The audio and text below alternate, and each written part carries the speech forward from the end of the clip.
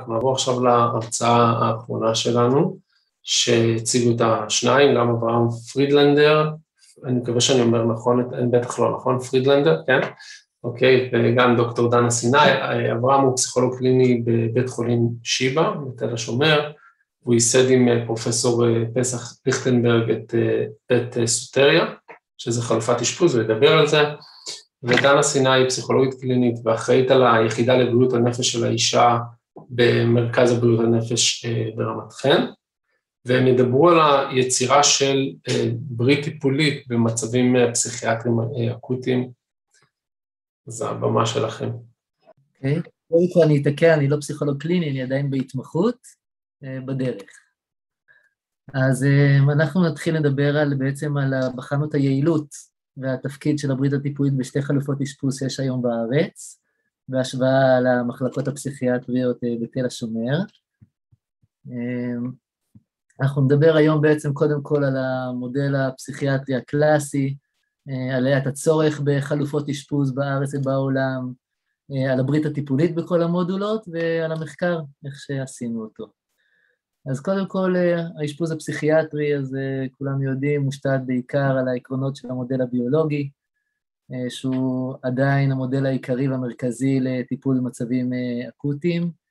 אנשים שמגיעים לאשפוז זה לרוב או בגלל סכנה לסביבה או לעצמם, או התנהגויות חסרות שיפוט, או בוחן מציאות לקוי, או קושי חמור ביכולת לדאוג לצרכים בסיסיים, או מצוקה נפשית גבוהה שדורשת השגחה אינטנסיבית. יש מחקרים רבים שנעשו על היעילות של האשפוז, הן על הסימפטומים, שהראו שהאשפוז אכן מפחית סימפטומים, זה דיכאון, חרדה, מחשבות שווא, פרנויות, וגם שביעות רצון. וודוורד ושותפיו סקרו 32 מחקרי שביעות רצון, והראו פחות או יותר שאנשים בדרגה של 3 מתוך 4 סולם ליקרט, או דומה באחוזים, בערך 60 עד 68 אחוז, של רמת שביעות רצון מהטיפול במחלקה. יחד עם זה, יש גם הרבה מחקרים שמראים על כל מיני חסרונות שיש לאשפוז הפסיכיאטרי, אנשים שיוצאים מאשפוז, שעברו אשפוז, אז יש הרבה סטיגטימציה חברתית, יש ערך עצמי נמוך, יש הדרה חברתית ותעסוקתית, יש תופעות לוואי קשות לכל התרופות, וגם יש מחקרים שמראים על עלייה באובדנות לאנשים שלאחר אשפוז.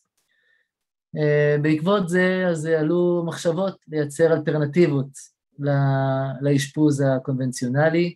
אנחנו נדבר על האשפוז אונליין, שפיתח דוקטור אסף כספי מתל השומר, ועל מודל סוטריה, שפרופסור פסח ליכטנברג הביא אותו לארץ מארצות הברית. אז מקווה שהווידאו יעבוד כאן טוב, אז יש איזה סרטון קצר שהראו על סוטריה בערוץ אחד, שיכול בהחלט להסביר מה זה המודל סוטריה. אם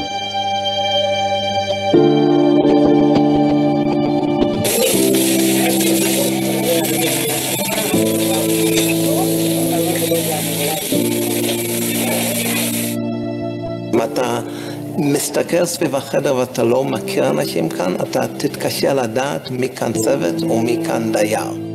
בית סוטריה, כך נקרא החלום שרקמו פסח ואבריימה, שיטה טיפולית שבמקורה מארצות הברית. במקום חדרי בידוד, מרחב ביתי משותף. במקום זריקות ותרופות, שיחות אל תוך הלילה. במקום קשירות, חיבוק ואהבה. אם בבית חולים שלושה אנשי צוות במשמרת על 40 מטופלים, כאן יש שלושה על תשעה דיירים.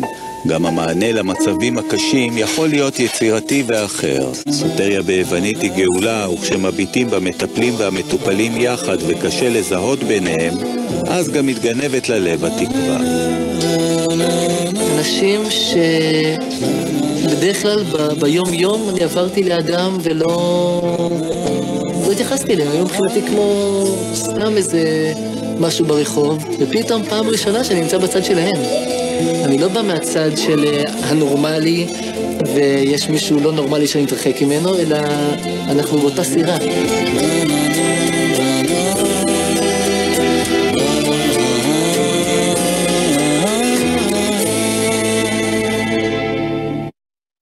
אוקיי, אני חושב שהסרט ככה, הסרטון נתן קצת הסבר, אבל בכל זאת נרחיב עליו. מודל סוטריה בעצם פיתח אותו פרופסור לורן מושר, פסיכיאטר בשנות ה-70 בקליפורניה, בהשראה של התנועה האנטי-פסיכיאטרית של ארדי לנג באנגליה ובסליה באיטליה.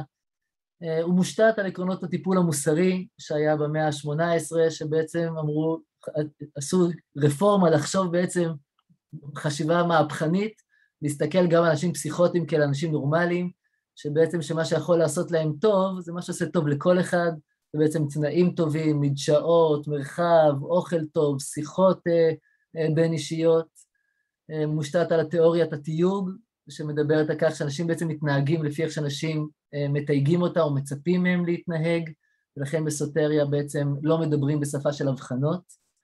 אה, התיאוריה הבין-אישית של סליבן, ששמה את הדגש של הפסיכופתולוגיה בקשר הבין-אישי, ששם בעצם נמצא עיקר המצוקה, התיאוריה של פרידה פרום רייכמן, שמדברת על פסיכותרפיה אינטנסיבית ועל אמפתיה, ולהיות עם המטופל ולא לתקן אותו, לשנות אותו, יחד עם כמובן חיבור גם למציאות.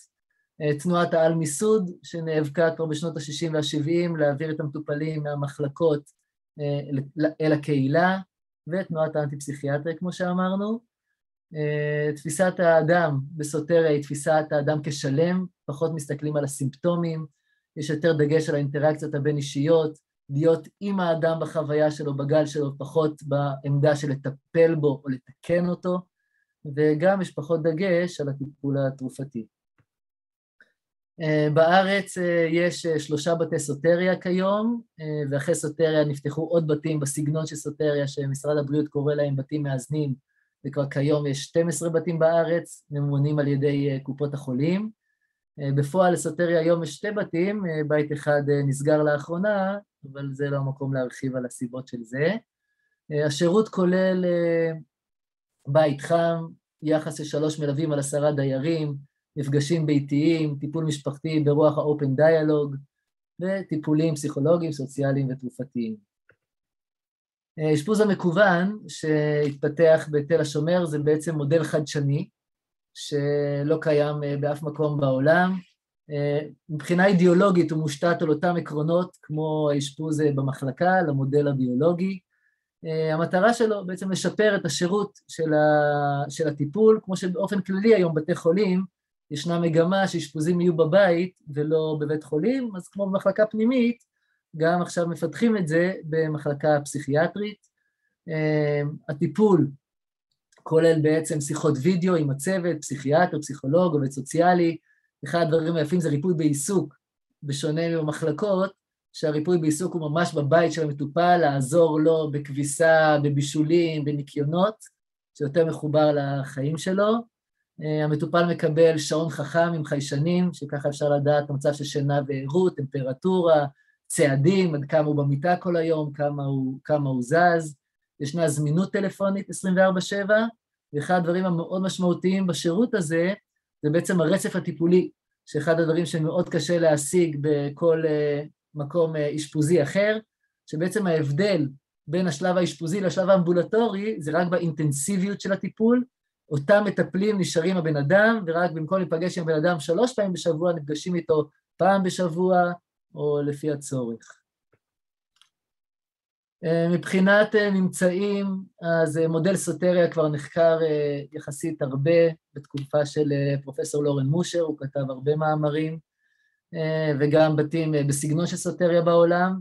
אז מחקרים מראים שפחות או יותר בטווח הקצר, עד חצי שנה, אין כל כך הבדל בשיפור הסימפטומים בין סוטריה לבין, לבין המחלקה. אבל בטווח הארוך של שנתיים כן כבר מתחילים לראות uh, שיפור, uh, שהסימפטומים יותר טובים אצל סוטריה מאשר uh, במחלקות. אשפוז המקוון, אין מחקרים עדיין, כי זה מודל חדשני, אבל יש הרבה הרבה מחקרים שמתעסקים בטיפול המקוון, ובטיפול המקוון רואים שאין הבדלים, לא נמצאו הבדלים בין הטיפול פנים מול פנים, לעומת טיפולים מקוונים, ויש הרבה מחקרים שדורים על הרצף הטיפולי. שמראים את הרצף הטיפולי כגורם אה, משמעותי בשיפור אה, נתונים קליניים. מבחינת תפקוד פסיכו-סוציאלי, אז אה, גם יש מחקרים שמראים אצל סוטריה שלעומת המחלקות, שיש שיעור גדול יותר של אנשים שמתגוררים באופן עצמאי, וגם יש מחקרים שמראים על ההשפעה השלילית של המחלקה על ההיבטים הפסיכוסוציאליים, כמו שדיברנו על הסטיגמה והדרה חברתית, שאנחנו מקווים להראות שבסוטריה זה יהיה פחות, וגם יש מחקרים שמראים באופן כללי שמטופלים מעדיפים לקבל את השירות בבית ולא במוסד כזה או אחר.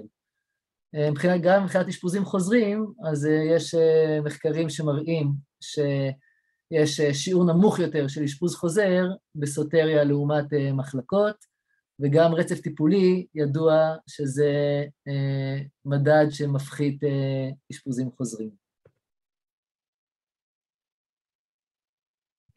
אני אצטרף. מה שמן הסתם, אנחנו לא נציג היום את כל מה שיש לגבי המחקר הזה, זה גם מחקר שהוא עדיין ongoing ועדיין נאספים בו נתונים, ואנחנו כן נסתכל היום על חלק מהנתונים ועל משהו מאוד ספציפי בהם, שזה החלק של הברית הטיפולית בעניין הזה.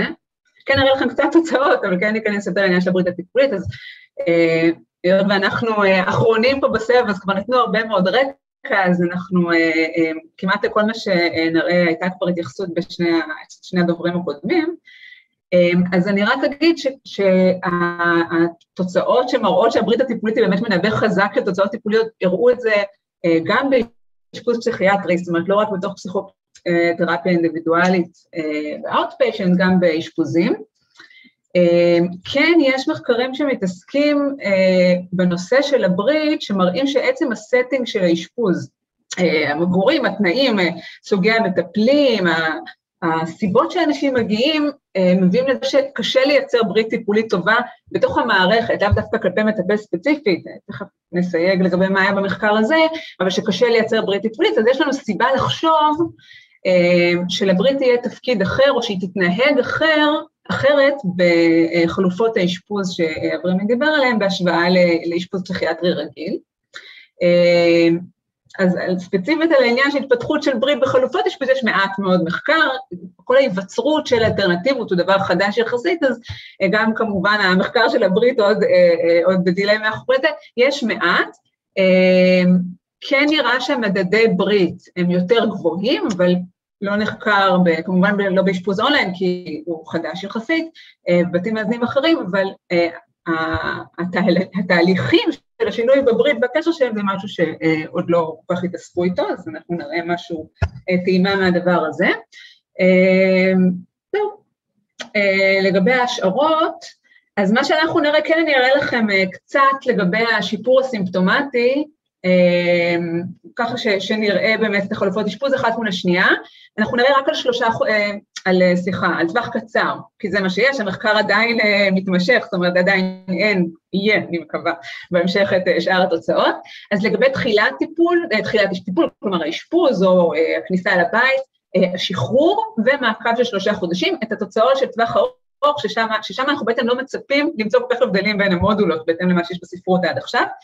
את התוצאות של הטווח הארוך, ששם אנחנו כן מצפים למצוא הבדלים, אין לנו, אז אנחנו יכולים לראה אותם היום, אבל כן נתייחס בתוך טווח הזמן הזה של עד מעקב של שלושה חודשים לנושא של הברית.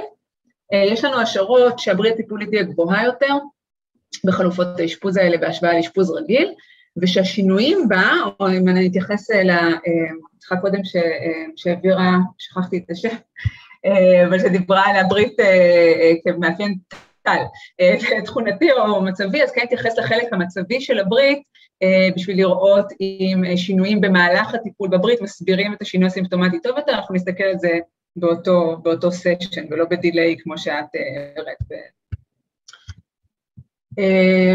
אוקיי, אז מה שאנחנו נראה בעצם, כמו שאמרתי, זה חלקים ממה שיש, זה מה שנאסף עד כה, יש לנו 188 מטופלים, ש-61 מהמחלקות זה בשיבא, 88 מבתי סוטריה, ועוד 39 מהפרויקט של אשפוז בית מקוון. לא כל כך ניכנס לקריטריון של ההכללה, אבל אפשר לראות שאנחנו לא מדברים על אשפוז בכפייה, או כל מיני מוגבלות, אלא אנשים, זאת אומרת, כן יש ניסיון שיהיו אוכלוסיות מקבילות, הרי לא כל אחד יכול להיכנס לאשפוז בית, תכף אראה את ההבדלים בנקודת הכניסה בין הקבוצות השונות, אבל נגיד אנשים עם אובדנות פעילה, מטופלים אלימים, לא, לא נכנסו למחקר, כי אז יהפוך את הקבוצות ההשוואה לפחות ברות השוואה. אני אפשר להמשיך? אה, וכן, כמו שאמרתי, אז אנחנו, המחקר עצמו, כן, הכוונה היא להמשיך לעקוב גם שנה וחצי אחרי השחרור, ואנחנו מתמקדים בנקודת, בנקודת המעקב הראשונה, בשתי הכניסה, שחרור ונקודת מעקב ראשונה. אחד הדברים שאנחנו בודקים, אז אנחנו נתמקד ככה בארבעה דברים בגדול, ארבעה תוצאים בסימפטומים, סימפטומים בדיווח עצמי ובתפקוד, הגף, שהוא מוערך על ידי מטפל, שאלון איכות חיים, שהוא גם דיווח עצמי, ונושא הסטיגמה, שאלון של תפיסת סטיגמה של המטופלים. והברית הטיפולית נמדדה גם מצד המטפל, גם מצד המטופל, אנחנו נתעסק היום מצד המטופל בלבד, בנקודת הזמן הזאת. אז קודם כל אני אראה לכם קצת על ההבדלים בין הקבוצות בבסיס, ניתוחים פשוטים, אבל אחרי כן, כשאנחנו נסתכל בעצם על התפקיד של הברית כמתווכת של העניינים האלה, אז אנחנו עשינו גם ניתוח רב רמות, כשיש לנו את המדידות של המטופלים השונים בתוך המטופלים, שהם בתוך המודולות השונות. וכמו שטל, סליחה רגע, עברים עוד אחד אחורה, כמו שטל הזכירה מקודם, אנחנו גם עבדנו עם מרכוז של הברית בתוך המטופלים כדי להראות את השינויים במהלך הטיפול כמנבאים של התוצאות, ולא של הברית התכונתית, כממוצע של. עכשיו אפשר לעבור, אוקיי, אז הבדלים בנקודת הפתיחה, אז OQ45 הוא, לא, לא אמרתי עליו מילה מקודם, אבל הוא גם סימפטומים בתחומים שונים, במבחינת מצוקה, מבחינת קשרים בין אישיים ותפקיד חברתי, אין שם הבדלים בין הקבוצות. גם לא בסימפטומים שנמדדו על ידי שאלון דיווח עצמי לאורך זמן, שזה ה-HCL, אין שם הבדל. תעשה לי enter, אברמי, אנחנו פשוט, בגלל שאנחנו שניים, אז רק המצגת רק אצל אחד מאיתנו. כן יש הבדלים בנקודת הפתיחה כבר בין ה... בין המטופלים, ה-SSMIS זה שאלון הסטיגמה, תכף נסתכל עליו עוד, יש הבדלים, כמו שאתם יכולים לראות, זה בית החולים תפיסת הסטיגמה היא הכי גבוהה, וזה גם יהיה משהו שאנחנו נראה אותו משמעותי בהמשך, בהשוואה לשניים האחרים, זאת אומרת, ממש להיכנס לבית חולים, להתאשפז במחלקה בבית חולים, זה משהו שמתלבטת אליו תחושת סטיגמה יותר גבוהה של המטופל עצמו. מבחינת הברית, וזה באמת הרכיב התכונתי שאתה דיברה עליו, גם אנחנו רואים הבדלים בנקודת הפתיחה, כשמצד המטופל הברית היא הגבוהה ביותר בטיפול האונליין, קצת פחותה מזה בכניסה לבית סוטריה ובבית החולים הנמוכה משלושתם. גם אצל המטפלים יש הבדלים, כמו שאתם יכולים לראות בטיפול האונליין, המטפלים עצמם תופסים את הברית בהתחלה גבוה יותר, בהשוואה לבית החולים ובית סוטריה. יש כן הבדלים בנקודת הפתיחה מבחינת תפקוד המטופלים שהיו מאושפזים הם ברמת תפקוד, או התפקוד שהם הוערך כנמוך יותר בהשוואה למטופלים באונליין, בית סוטריה, יש לזה משמעויות, אנחנו ננסה להתייחס אליהם קצת אחר כך.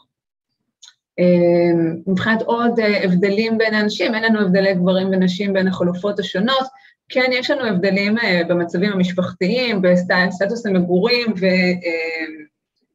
אנשים שמקבלים קצבת נכות, כלומר, הקבוצות הן כמובן לא בהשמה רנדומלית, יש כאן שיקולים קליניים שהשפיעו על החלוקה לקבוצות, מי הלך לאיזה, לאיזה חלופה, אבל כן יש ביניהם הבדלים, אפשר לחשוב על זה בעצם, לא כל אחד יכול לעשות אשפוז בית, אם הוא גר לבד, אם יש זוגיות, אין זוגיות, אנשים עם דיסביליטי, יש להם יותר או פחות, אז כן יש כאן הבדלים, ובהמשך אנחנו, זאת אומרת, בניתוח הספציפי שנראה לכם יש פחות התייחסות לזה, כשיהיו יותר נבדקים ונאסף יותר לאורך זמן, נוכל גם לנסות לפרק את זה ולראות מי יותר, מי יותר במה, אבל זה לא מה שאני אראה כרגע.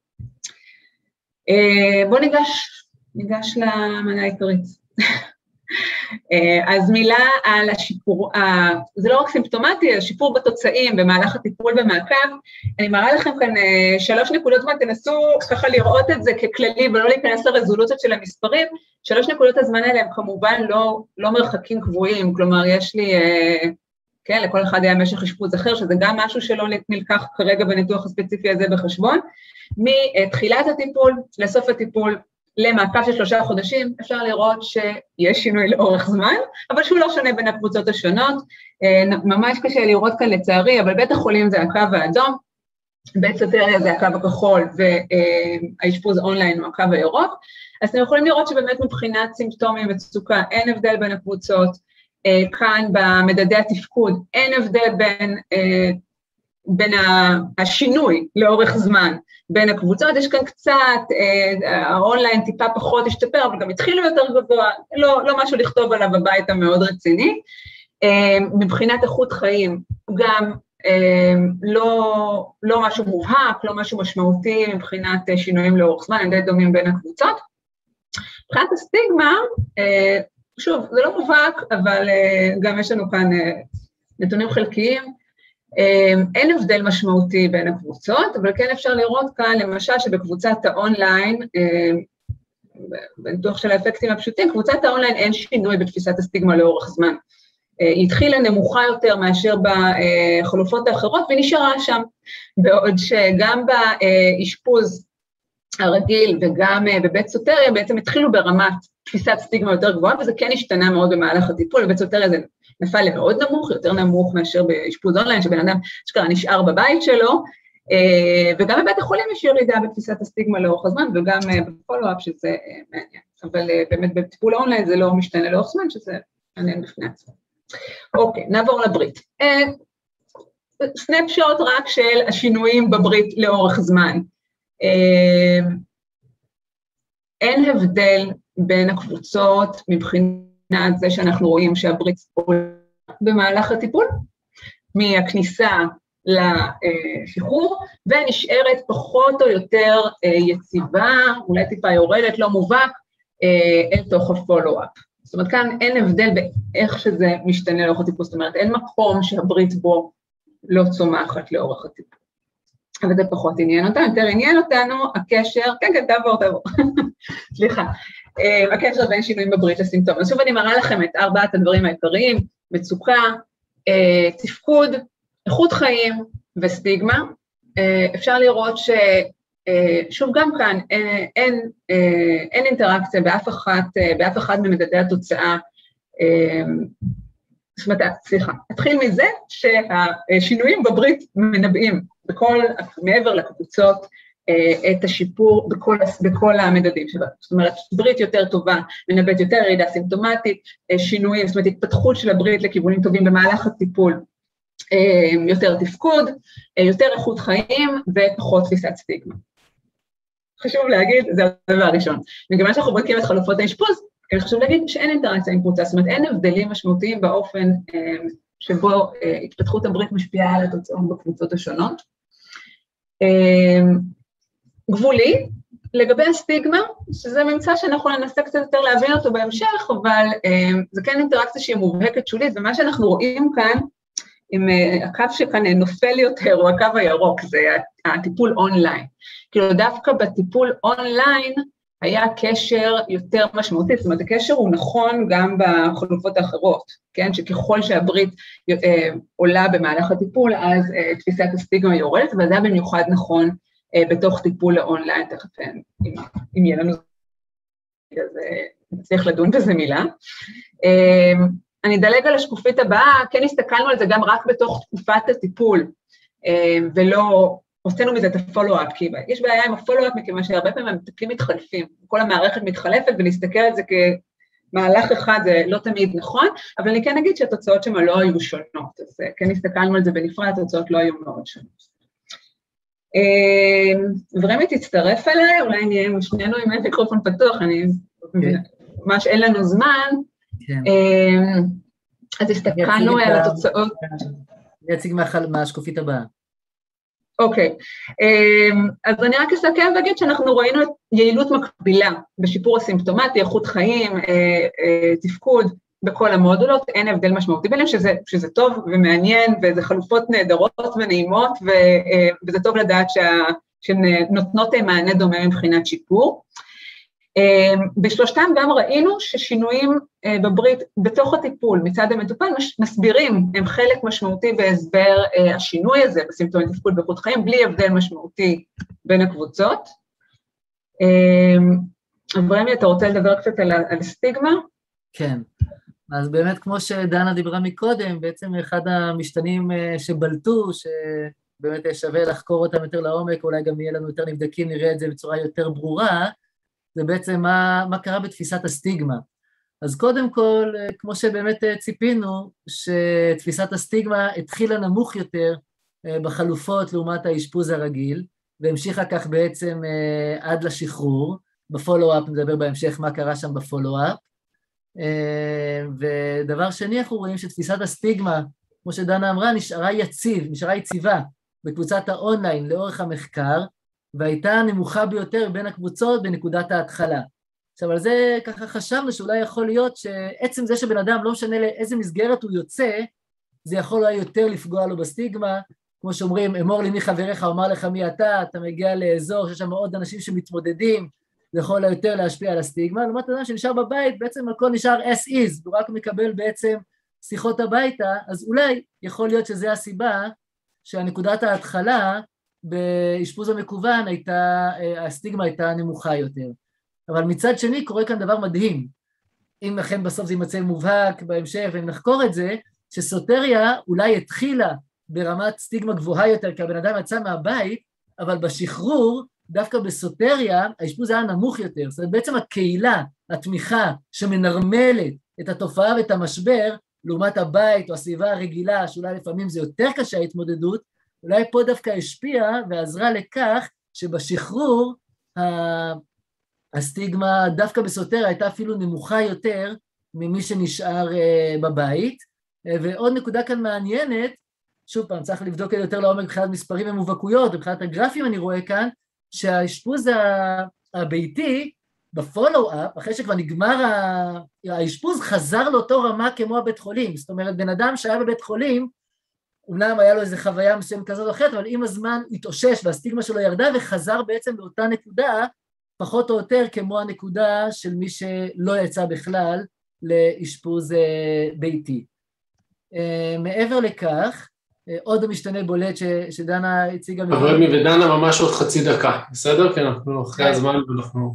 אז אולי אני אגיד על זה מילה ואז נסיים, שיש כל מיני הסברים שאפשר לתת לדבר הזה, אם אכן יש הבדל בין איך שינויים בברית הטיפולית השפיעו על ההתפתחות של הסטיגמה או על השינויים בסטיגמה דווקא בקבוצת האונליין, ואברמי דיבר על זה שבעצם כל מה שיש לך שם זה את המטפל, זאת אומרת, אין לך שם את ה setting, אין לך שם את החדרים, אין לך שם את המתמודדים האחרים, אין לך שם שום דבר אחר בעצם שמשפיע על הטיפול חוץ מהמטפל שלך.